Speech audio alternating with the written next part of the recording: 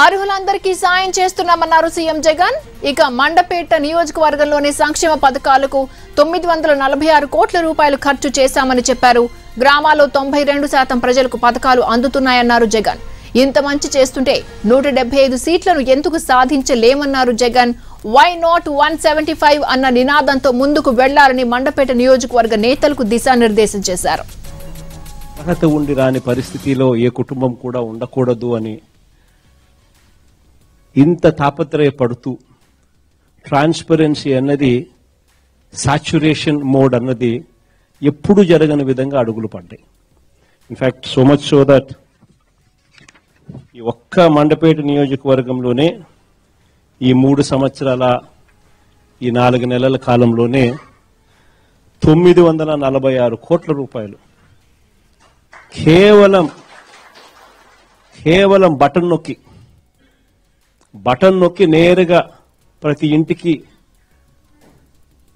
అక్క చెల్లెమ్మల చేతుల్లో పెట్టిన సొమ్ము.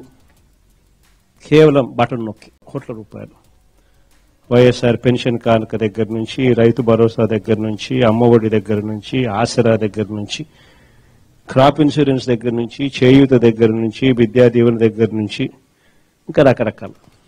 డీబీటీ అంటే డైరెక్ట్గా ఆధార్ కార్డుతో సహా ఎవరికి ఎంత ఇచ్చినాము ఎవరికి ఏ రకంగా జరిగింది అని చెప్పగలిగిన ఆధారాలతో సహా ట్రాన్స్పరెంట్గా ఎక్కడ లంచాలకు తావు లేకుండా వివక్షకు తావు లేకుండా అర్హుడైన ఏ ఒక్కరూ కూడా మిస్ కాకుండా దేవుడు దయతో అడుగులు వేయగలిగాం. ఇటువంటి మార్పు గతంలో కూడా ఎప్పుడూ జరగల. అలాంటి మార్పు ఈరోజు రాష్ట్రంలో కనిపిస్తూ ఉంది. ఇంత మార్పు జరుగుతూ ఉన్నప్పుడు ప్రజలలో కూడా ఇదే గుర్తింపును మనం ప్రజల దగ్గరికి తీసుకుని వెళ్ళి ప్రజలకు ఇవన్నీ కూడా గుర్తు చేసి ప్రజల ఆశీస్సులు మనం తీసుకుని అడుగులు ఇంకా ఎఫెక్టివ్గా వేయాల్సిన పరిస్థితులు అవసరంతో ఈరోజు మిమ్మల్ని అందరినీ కూడా దాంట్లో ఇన్వాల్వ్ చేయడం కోసం ఒక గొప్ప మంచి ప్రోగ్రాం ఒకటి ఇన్వాల్వ్ చేసి ప్రజల్లోకి ఒక మిషన్ ద్వారా పంపించే కార్యక్రమం చేస్తాం.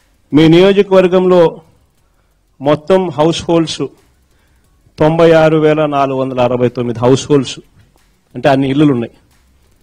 ఇందులో మన పథకాలు చేరిన ఇండ్లు తొంభై ఒకటి పాయింట్ తొంభై ఆరు శాతం.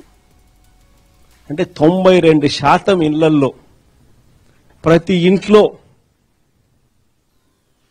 ఆ అక్క చెల్లెమ్మ పేర్లతో ఏ పథకం చేరింది? ఎన్ని పథకాలు చేరినాయి? దేవుడు దయతో వాళ్ళందరికీ కూడా మనం ప్రతి ఇంట్లో చేయగలిగాం.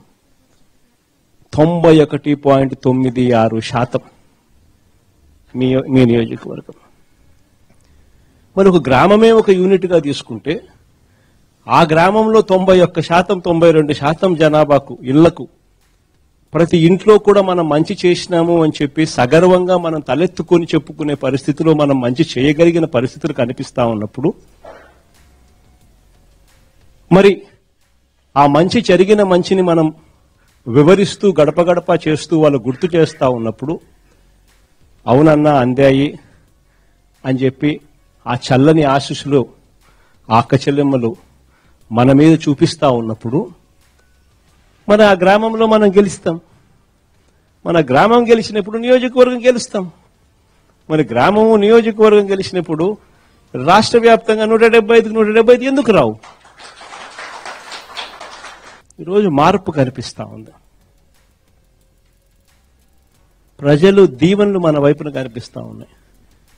ఎందుకనంటే ట్రాన్స్పరెంట్గా జరుగుతూ ఉంది. ఎక్కడ లంచాలు అవసరం లేదు. ఎక్కడ వివక్ష చూపడం లేదు.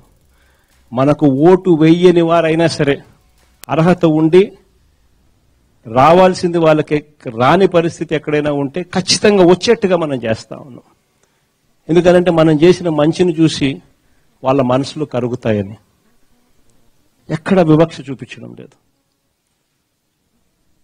ఎక్కడ ఎవరు కూడా లంచాలు అడిగే పరిస్థితి లేదు. సోషల్ ఆడిట్లో లిస్టు డిస్ప్లే చేస్తా ఉన్నాం. ఖచ్చితంగా ఇక్కడ కూడా why not one seventy five. ఇది నేను అర్థం ఖచ్చితంగా